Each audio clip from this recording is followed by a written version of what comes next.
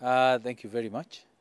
Uh, yes, today uh, is a dark day. It's a dark day for me, a dark day for Othaya people, a dark day for Nyeri people, and uh, a dark day for this country at large. Uh, we've uh, lost a great statesman, a visionary leader, a leader who you can never talk about this country without referring to him. Uh, I therefore want to pass my condolences, those of my family, and uh, to the people, to the family of Mzee, uh, to all the children and the family at large. I want to pass my condolences to the people of Othaya and to Kenyans at large for this great loss. Uh, uh, yes, we all know that uh, death is inevitable and we will all go that way. But uh, yes, the timely, the timing of his death at a time when this country needs him much, much more, uh, puts us uh, in a very sad state. Uh, but yes, it's the will of God, and as Christians, we have to honor the will of God. Uh, yes, I will remember Mzee for many things. Personally, he's been my mentor. I was lucky to have met him uh, while I was in high school uh, and when he was the vice president of this country. And uh, since then, uh, he's really been a little mentor. Uh, and then I was lucky when he became the president.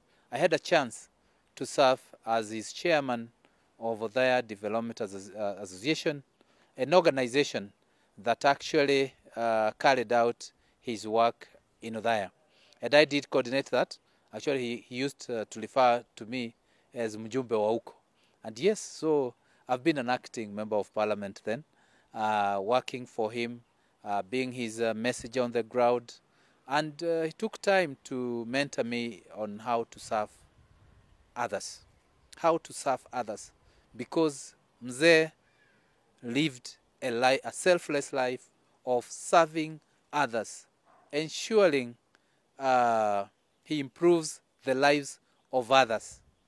And uh, that's something I learned from him uh, that life is not all about ourselves, how big we are, how great we are. is about serving others. And yes, that's the life he lived. That's the life he lived.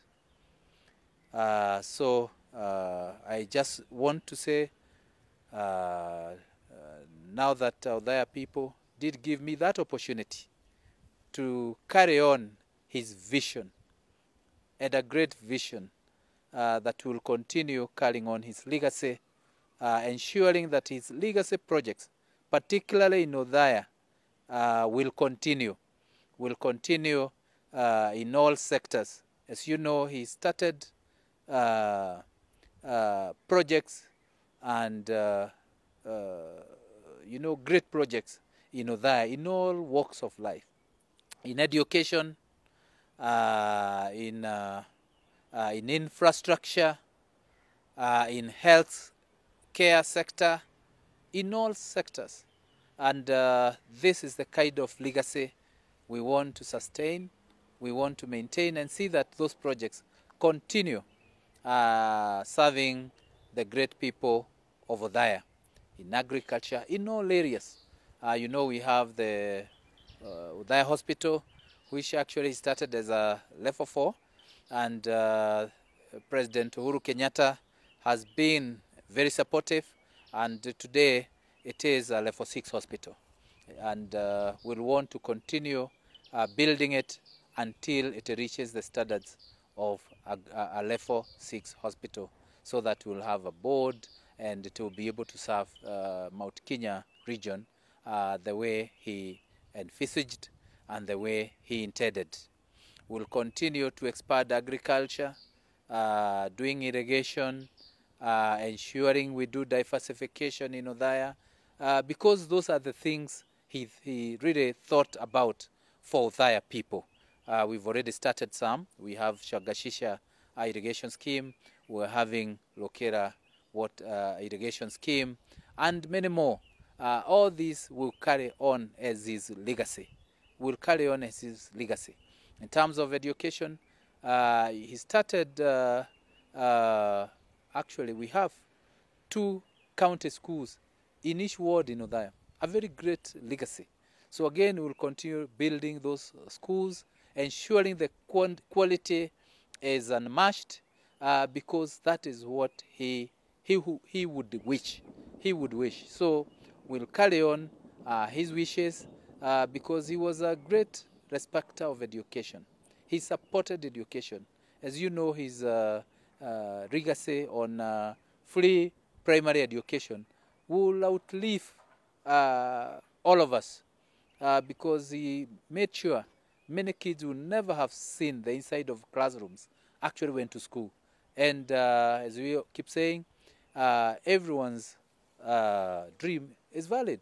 So he made sure that all these kids, all these kids, if you're born in this country, yes, you'll have a chance uh, to achieve your dream because all dreams are valid. So yes, he's a he's left this country uh, with a vision to carry on.